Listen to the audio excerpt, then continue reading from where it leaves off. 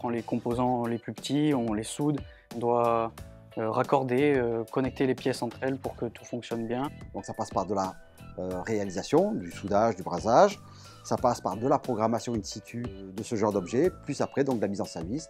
Dans tous les objets aujourd'hui, nous avons de l'électronique. On a tout ce qui est télésurveillance, euh, des alarmes, les, les, choses comme ça. Les ordinateurs, les téléphones dans nos poches, les montres connectées, enfin on en a vraiment partout quoi.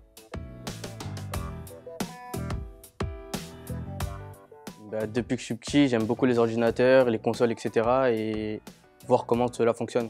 J'aimais tout ce qui est assemblage, donc euh, j'ai commencé petit par exemple à assembler des hélicoptères télécommandés ou des voitures télécommandées, donc petit à petit, voilà, quoi. je me suis intéressé et j'en suis arrivé là.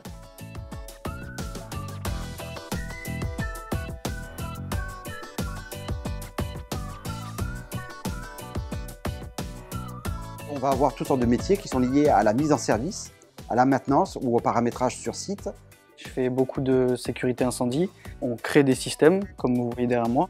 Donc il y a des détecteurs, des centrales, on les câble, on les programme et ensuite on les vend. Moi je travaille dans la fibre optique, c'est-à-dire qu'on tire des câbles, on, on fait des aiguillages entre les poteaux.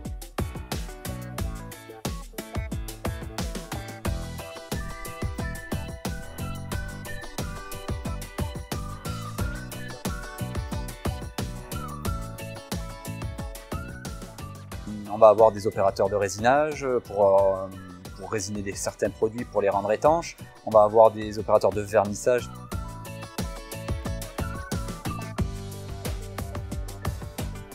Je travaille dans tout ce qui est problème sur les cartes mères, dans de la téléphonie. Donc on travaille en micro-soudure. On répare tout ce qui est panne, en fait on fait de la recherche de panne.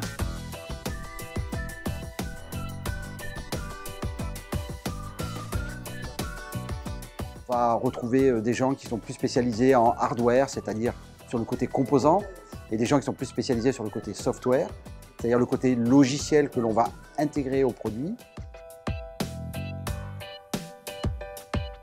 Les domaines d'activité sont variés. On part de l'automobile avec tout ce qui est véhicule électrique.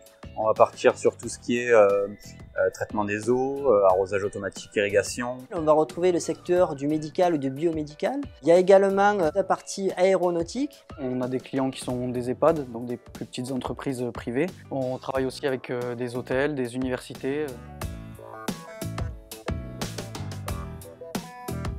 On peut démarrer par des formations de bac pro système numérique où on peut y accéder dès l'âge de, de, de, 15 ans. Dans le bac SN, on fait de l'électronique, on fait de la soudure, on fait de la programmation Arduino.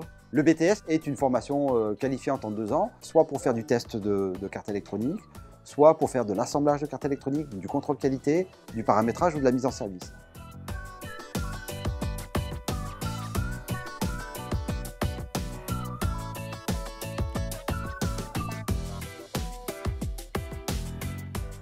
Lorsqu'on réalise un produit d'électronique, on y insère un aspect communicant, un développement qui va être numérique. Tout ce qui est stockage de données, tout ce qui est enregistrement. On va transposer tout ce qui est analogique en signaux numériques pour pouvoir les stocker, les, les, les transformer, les transmettre avec des garanties de sécurité.